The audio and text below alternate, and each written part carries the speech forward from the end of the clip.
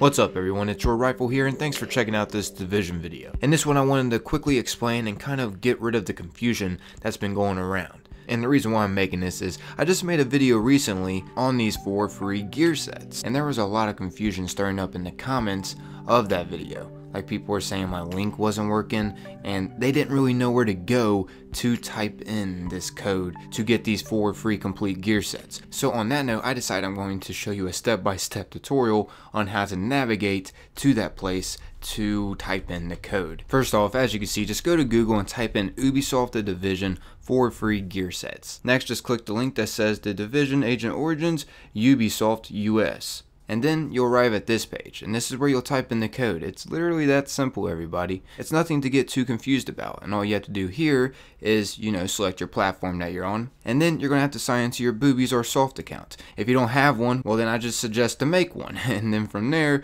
you will type in the agent origins code after you created your account. Once you've typed in the agent origins code no spaces you should receive a 25 digit code that you can use once the full game releases. That should go to your email that is linked with the account that you created. Also, it was confirmed from Ubisoft that the code only works in the US, but actually in the comments of the recent video that I made, a lot of people from other countries were saying that they were able to put in the code for these free gear sets. So hey, that's some promising news for you all. Hopefully it does end up working out. I mean, I'm not greedy with it, I want you guys to receive it as well. And actually someone said a possibility of a way to bypass it. They had said to change the language of the page to US English and then log in and look for the redeem code link in the pre-order section. It worked for him that he said. So hey, that's another possibility. But yeah, there you guys have it everybody. Hopefully this helps clear out a lot of confusion. So on that note, I guess that's why wrapping up this video. As always though, I'm to leave a friendly reminder at the end of the video. If you could, please remember to leave a like. It's greatly appreciated. But this has been your Rifle. Remember to stay safe out there everyone.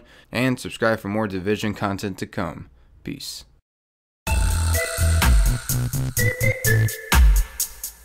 You.